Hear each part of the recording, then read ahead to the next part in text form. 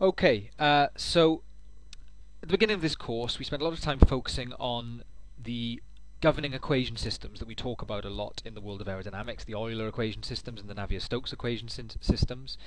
Um, and we invested quite a bit of time looking at the mathematics of their derivation, not so much that so that you you're fully competent at deriving them and the mathematics of their derivation, but just so that you understand the the basic underlying principles, the, the underlying physical principles that they're based on, and those principles are essentially conservation of mass, conservation of momentum, and conservation of energy. We then went on to look at where some of these important non-dimensional parameters come from that we talk about lots in aerodynamics, particularly Reynolds number. We did that by non-dimensionalizing the mass conservation equation and the momentum conservation equations. And I left um, an exercise for you to do uh, for homework on page uh, 35 of your notes, an exercise 2, where we gave you this simplified form of the energy conservation equation, written in this uh, summation index form uh, that we discussed in the lecture. We discussed the the meaning of these terms that have repeated indices. So here we've got repeated indices j in two of the terms. It's also simplified because we've taken the rho density out from the derivative, which means this is the incompressible form. Um, so density is constant. And we've explicitly written temperature as T, so we've put in our definition from the state equation um, and replaced the internal energy with temperature. Um, and if you compare this version with the version you have uh, equation 2.31 in your notes, hopefully you can see, um, if not in detail, in general where this equation comes from. And then I asked you to use the following non-dimensionalizations um, to prove that you can get equation 2.49 in the notes, the non-dimensional form of the energy equation. And the question asks you to use uh, ui star, so non-dimensionalized velocity as being the absolute velocity normalized by big U or U infinity. xi star, so non-dimensionalized space as the absolute space variable divided by L, which is a typical length scale of the flow, so this could be aircraft length, could be aircraft wingspan. There was a typo in the notes, um, which I did mention uh, in a lecture earlier this week, that the non-dimensionalization non of t should be absolute time over some base time, t naught, so that's a fixed value, t naught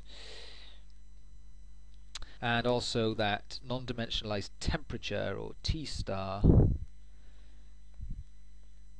we will set equal to T minus T naught normalized by T1 minus T0 where T1 and T0 are reference temperatures. And there are a range of reference temperatures depending on the problem we're solving that we could choose for T1 and T naught. So, if we call our starting equation equation star, whoop,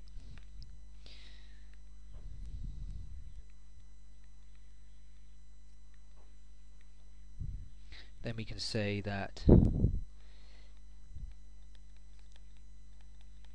substituting into equation star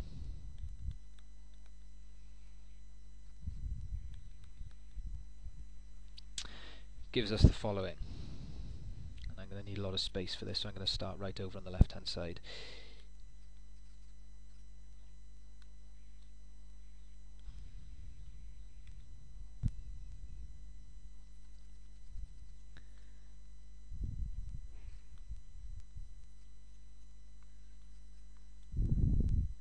So D. T star.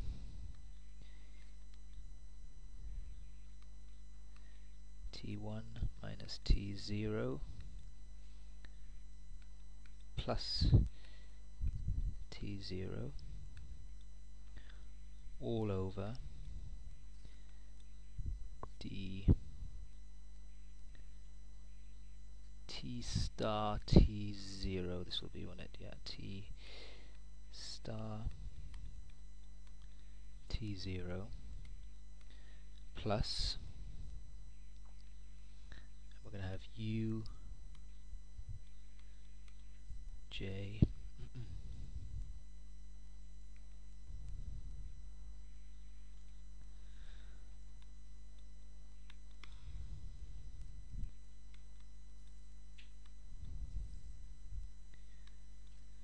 again d.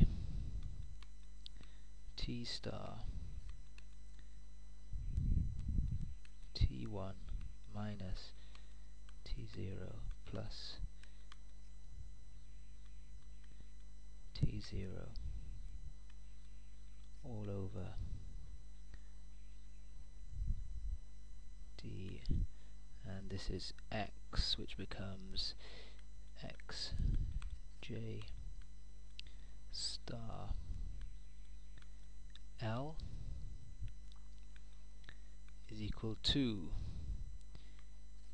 K over rho CP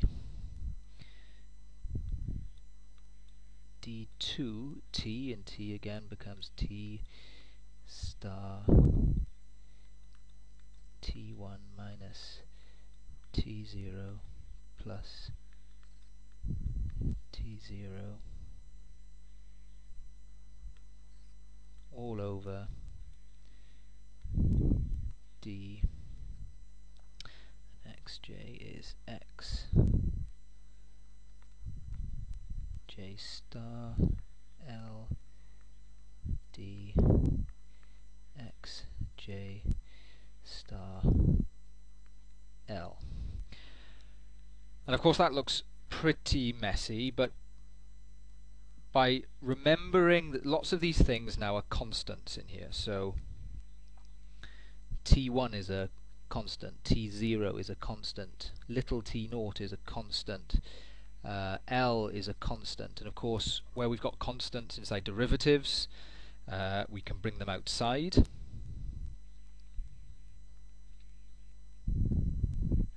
And importantly to note, this term here, this term that's added, because it's not multiplying the t star, the thing that is actually varying, well the derivative of that is just 0, so that will just disappear.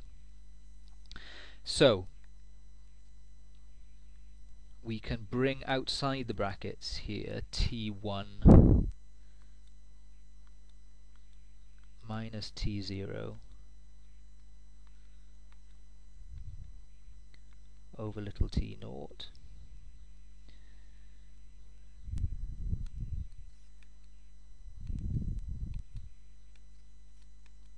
Dt star by plus u t1 minus t0 over L j star. D t star by dx j star equals k over rho cp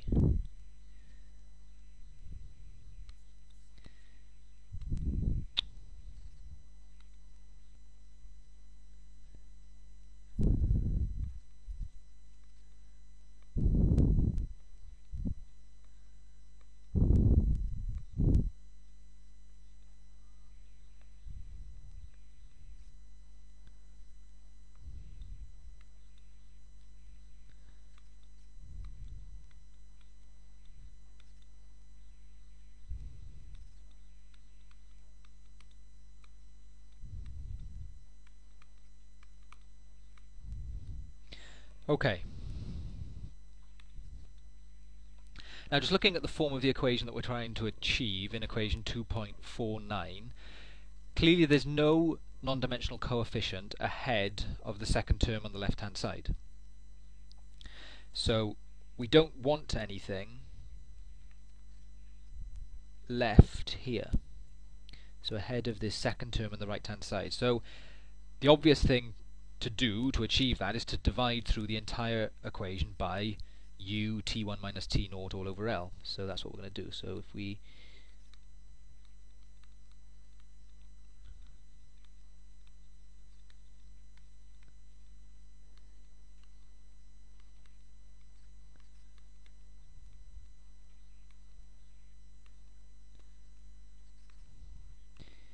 So what do we get if we do that? We get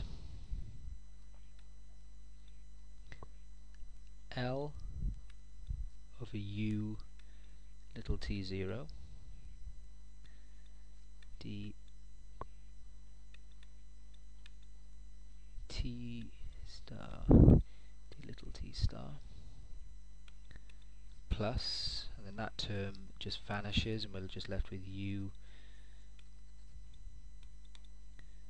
j star t star by dx j star is equal to k over rho cp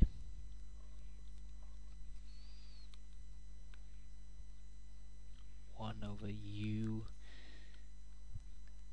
L D2 T star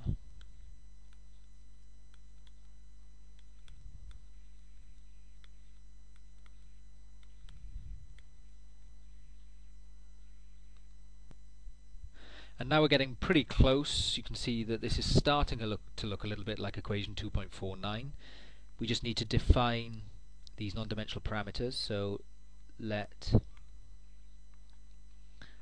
RE. Yeah.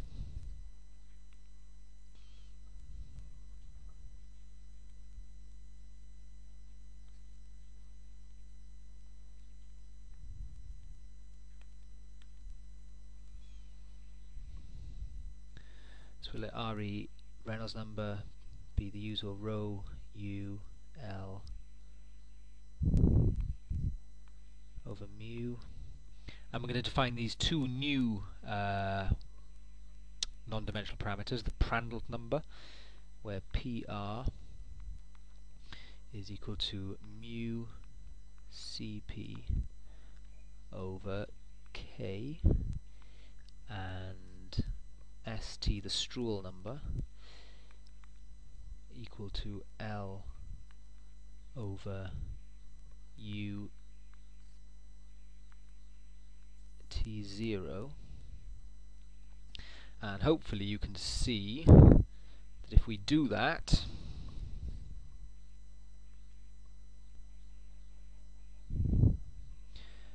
we're now left with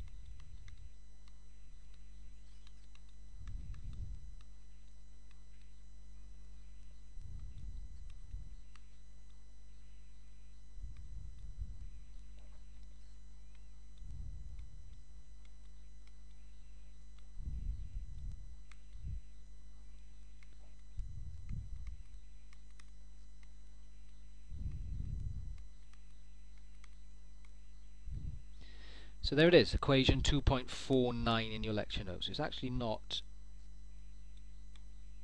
too much of a challenge. Once you've decided on those non-dimensionalizations, to just plug them in, do a little bit of manipulation, and get the non-dimensional form. Now we discussed in the lecture the, the physical significance of Reynolds number and its impact on uh, the viscosity term at the end of the momentum equations.